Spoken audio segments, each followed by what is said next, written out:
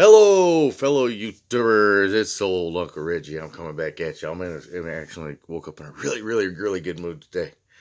I, uh, well, the birds are singing outside. The sun just poked out. I mean, we had a couple crappy days of rain and thunderstorms here in southern Michigan, and it's been it's been like that, you know. So, uh, anyways, but uh, you know, all this stuff about this abortion stuff. I mean, it's pretty gross. It's pretty disgusting, you know. I don't want to know about babies getting their heads cracked open and sucked out with a little thing. It's pretty, you know, I mean, we got one side saying, yeah, yeah, you know, we, we want our abortion. And then the other side saying, no, you can't have it, and here's why. And then they show pictures of aborted babies, and it's pretty gross. Um, I gotta say, on both sides, you guys are, you guys are freaking animals. But one thing a lot of people are, are like brushing over and not even thinking about, I took biology. I was, you know, let's just say I was a scientist at one point, you know. Um, and I study this stuff, and you know, the rights over their argument is life begins at conception, and and I it just never really, you know, and and I'm thinking about it, and I'm like, these people are ridiculous, you know. And they said the heartbeat law, the heartbeat law. You know, once the baby has a heartbeat, it's viable on its own.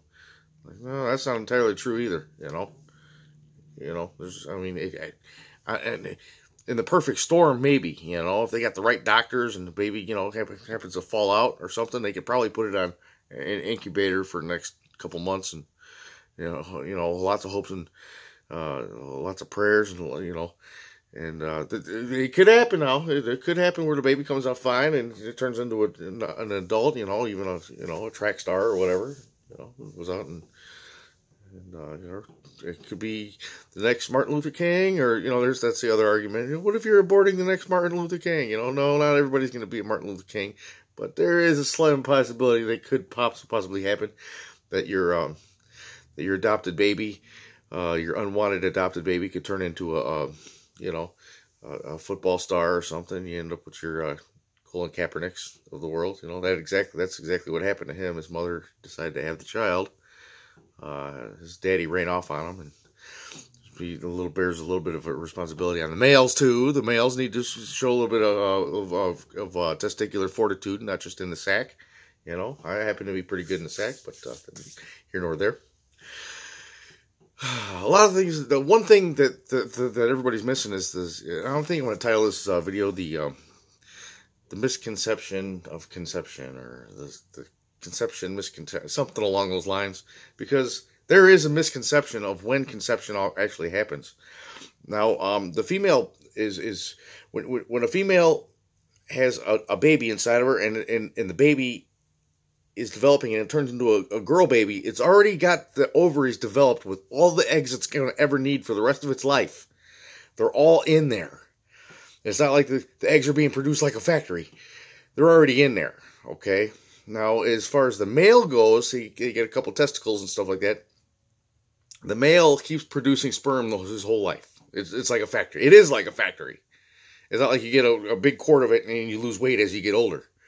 You know, in the bathroom by yourself with the little magazine and a paper towel. You, you, you don't lose weight. It, it just keeps it's a, it's it's kind of a byproduct. Um, but it is a product. Okay. Now, if you look at sperm under a microscope, it's just, it's a little swimming little guy, you know. You got, you know, uh, forgive my forgive my uh, my my mess here, but uh, you know, I got this little dry erase board. You know, it's, it's got this little. It's I'll, I'll, I'll let you watch me draw. You got the little head on it, and then and it's got this little neck, and then it's got a tail on it. See, it kind of looks like that, a little bit, and it just swims. It's a little swimming little boy. And boo! He takes off like like you know uh, uh, like an Olympic swimmer. And then it hits the egg and it goes in, but it's a swimming little dude. So now, if if you if you were to see something like that happen, because I've seen these electron microscope uh, images of sperm, and there there's like a, a, and they're just all swimming. They're just erasing. If you've seen that on Mars, you would call that you would call that life. So the misconception is that life begins at conception. Is that true? It continues at conception. You understand? It continues. It, it, it doesn't start there. It continues there. Because those little sperm are alive. You know? And the fastest one wins. You know? It could be two. You know, there could be double double insemination.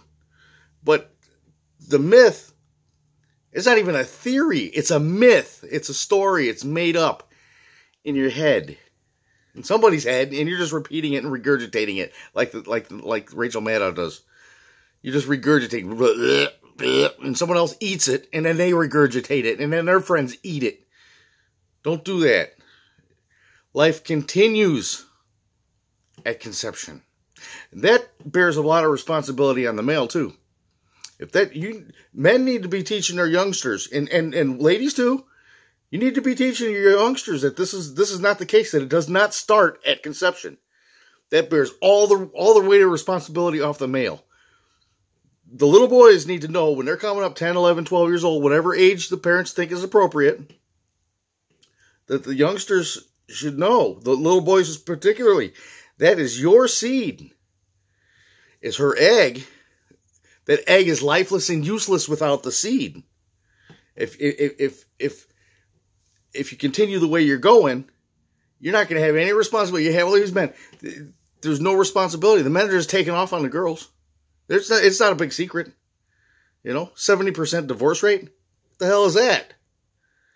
I'm just saying. For the little boys out there coming up, you know, your little Alexanders and your little uh, Brents and your little your little uh, you know Brads of the world. Uh, they need to know this that, that their little boys are swimming. Those are alive. That's a part of you. They're alive. You're you're worth more than just you, you know. You're worth more than that. To think that life starts at conception, that's just selling yourself short, young man. You're selling yourself short. You're just bearing all the responsibility now goes on the woman. You're halfway responsible for that child if you get her pregnant. Halfway responsible. Halfway, equal. You know, but without that sperm, that egg doesn't get fertilized. And that sperm is alive.